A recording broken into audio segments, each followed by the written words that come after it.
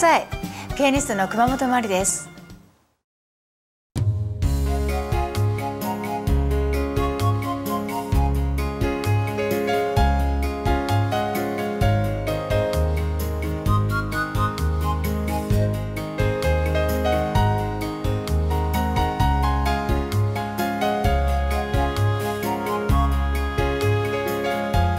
皆様こんにちは。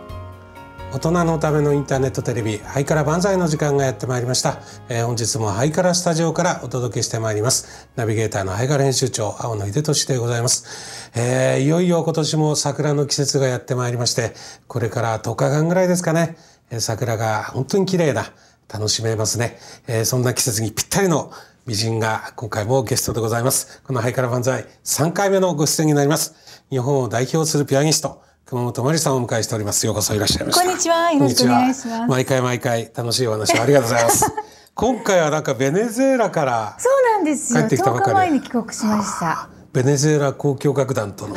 共演ということで、はい、そうなんですよ。こう呼ばれるわけですか？え、今回のたまたま日本週間という、はいはい、あのもう20年ぐらい続いているこの大切な文化イベントの、まあ、日本代表のその音楽家として呼んでいただいて、まあ、あちらのベネズエラ交響楽団っていうオーケストラなんですけどね。すごく歴史があるんですよ。もう本当にフルート・ベングラーとかもすごくそのクラシック界の大物のあの指揮者とかも振ってるし、まあ、レコーディングなんかもたくさん出してるんですけども、まあ、今ベネズエラって世界的にその音楽教育で非常に注目されてる。国なんですよね。で私たちも南米が今回初めてで、もちろんベネズエラも初めてだったんですけども、とてもいい体験でした。ああ、そうなんですか。はい、あのピアニストマリさんお一人で行くんですか？これは。はい一人で。ああすごいです。今回はとにかくベネズエラは南米遠いですね。遠いですですからあのニューヨークに先に行って、はい、たまたま友人がいるのでニューヨークに一回あの10年ぶりぐらいかな今回。はいはいはい。で200ぐらいしまして少し体を休めて、はい、それからニューヨークからカナダ経由でまたベネズエラに入ったんですね。着くまでちょっとやっぱり長いですね。長いですか、はい、まあそんなわけで日本に帰ってきて私も1年4か月ぶりぐらいにお会いしたんですが、第一声が太りましたってなんかお太ってるのがすごいなんか幸せオーラをありがとうございます。今日ねこんな白なんか着なきゃよかったなと今ね今回白ですから。もう愛さんがお綺麗ですからねいいんですけどもすいませんもう白豚になっておりますが。すいません。さてあのマリさん今回 CD がもう、はい、気づいてみたらデビュー25周年なんですね。そうなんですね。本当早いですね。早いですね。この25年の中でこんな番組に3回ももう出て、ね、ありがとうございますありがとうございます本当に。そして今回ここにございます CD が「日本の心、日本のメロディー」はい、奥村はじめ作品集、はい、これどんな CD なんですか今回はね、えー、もうこれ私の本当長年の夢だったんです。はいはい、であの外国に例えば今回みたいに演奏に呼ばれた場合、はい、まあえー、ちょうど2年前もエジプトとかヨルダンに行ってきたんですけどね。うんね、日本人として呼ばれた場合やっぱり日本の作品はと聞かれるんですね。で私自身も日本のピアニスト、まあ、ショパンとかはこれ西洋の音楽を演奏しているわけですけど自分の国のやっぱりリズムや文化をピアノで伝えたいっていうのがすごく強い思いがありましてね。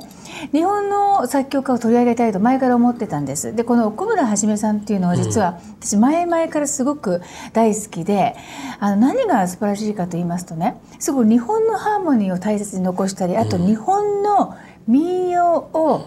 ピアノにアレンジしてるんです。皆さん日本の民謡というと普通和楽あの、和楽器とか歌で伝えられる音楽なんだけども、奥村さんはピアノのために編曲してるんですよ。で誰もこういう方いないんですね。いないんですか？で私はあのこの日本民謡、えー、20, 20曲以上あるんですけどこれ全部もう毎回興味あって演奏したい録音したいという思いがありまして今回これを全部、はいあの録音したんです、で、はい、もちろん民謡のほかに彼オリジナルの作品もあるんですけどすごく日本のその魂とても日本のその生と動、リズミカルのお祭りの部分とそれからすごくしなやかな日本人の持つ白と黒のようなねそういうのを音で表現してるんです。で今回ですからもう本当長年の夢が叶って、まあ、特にあの去年のね地震の後やっぱり、皆さんはすごくやっぱ自分のルーツとか文化とかとても大切になさってると思うんですよ。はい、で私はもうその前からねとにかく日本人として日本の文化とか自分のルーツ、特に世界に行った時にはやっぱりそれをもっとみんなに知ってほしいアイデンティティをもっと示したいという思いがあったのであの今回は日本の皆さんだけじゃなくて世界のあのいろんな人たちにもこの日本のね曲を聴いていただきたいという思いが詰まった一枚なんです。なるほどやっぱり世界に行けば行くほど日本が見えるんですね。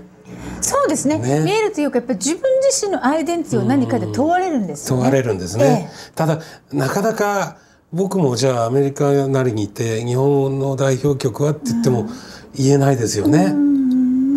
そう難しいですよねで外国人にとって日本の音楽はって言った場合多くの方々がどちらかというとこう控えめな静かなね桜桜とか、ね、ああいうイメージを持ってらっしゃるんですよ、はいはい、でも民謡ってすごくこうドラマティックで和太鼓とかあのこう阿波踊りとかね、はいはいはい、ああいうすごくリズミカルのがいい曲あるんだけど外国ではまだそこまで知られてないんですよ。で、ね、今回はそういう躍動的な動きのある曲をねピアノで演奏してるんですよ。でやっぱりそれがやっぱり一番みんなあの興奮して喜んでくれるんですね。今回も本当数多くの曲がこの中に入ってるんですけれども、ええ、躍動的な代表曲って例えばどんなの、ええ、私が一番好きなのはね、え、熊本のおてもやんなんですよ。でこれはもうずっとエジプトとか。前からやられてますよね。前からね、これ弾いて、あの一番目に喜ぶんですよ。動きがあってやっぱり日本のハーモニーなんだけどその中に日本のこう動きがあるお祭りみたいなね。で外国の方がああこんな曲あったのかと、そういった反応するんですよ。で今回もちろんベネズエラでもね、このお手もや演奏したらもう皆さんすごくやっぱりあちらにいる日本人の方もすごくお喜びになっていただけるし、現地の方々にもすごく、あのこう新鮮にね受け取っていただけて。新しいですねでもね、今今お手もやんですか？はいねあとはどんな曲ありますかね？あとはね阿波踊りも面白いですしね、はいはい、あとこの沖縄のね曲。この曲もなかなかねやっぱ沖縄のハーモニーでとってもいいんですよね。聞いただけでやっぱ沖縄すぐわかるんですよ。わかります。で沖縄はね日本だけどやっぱり特殊な文化とかいろいろあります、カラフルな文化、ね、踊りもありますしね。やっぱりそこが私自身もあの録音すると同時にね日本のいろんなお祭りとかいろんな地方の勉強にねあのなってるんですね。でも民謡っていうのはこれ誰が作ったかわからないわからないんですよ。わけですよね。ずっと語り継がれて。語り継がれて。でもやっぱりすごく南の九州またすごく北海道北、はい、割とそちらが多いですね。多いですか、えー、不思議ですね。不思議ですね。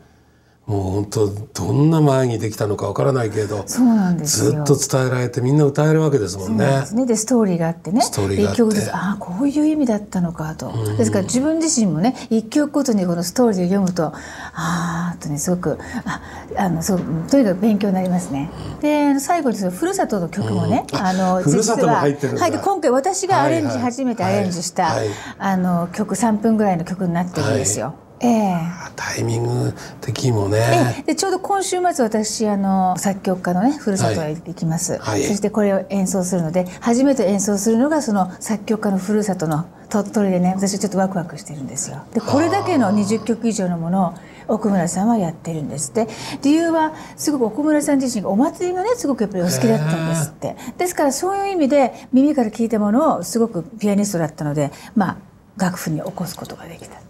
まあ、日本は本当にもう今回、えー、これから行われる浅草の三社祭りもなんか700年らしいんですけど、今年もうそういう民謡と祭りっていうのはね、もう日本人の生活の中にも溶け込んだ習慣ですからね。ですねですからあのよくスペインなんかのトマト投げてあのお祭りみたいなありますね。あの日本のお祭りでもどれかすごい祭りが日本にしあの世界に知れ渡ってると意外とそういうのないと思うんですよね。ねだから何か何か一つでもいいからすごくこういうあの動きのあるねあの民謡をもっと知ってほしいんですよね。そっかすごいですね。これでもこれは世界になんか聞いていただきたい日本のなんか知らない曲。そうなんです。やっぱりあのー、日本人いないの方にもぜひねこれは知っていただきたいんですよ。まあ毎回マリさんは本当にクラシックでスタートしながらチャレンジされてますね、えー、石田純一さんとのトークとピアノを混ぜたようなね、はい、あのライブ開いたりとか、えー、今回はねこう日本の名曲を、えーね。面白いですね、ね、やっぱりすごく自分が一番こうやりたいことをやるっていうのかな。それから自分が感動したことを皆さんに知っていただきたいっていうその思いがこう情熱になって、もう諦めないで、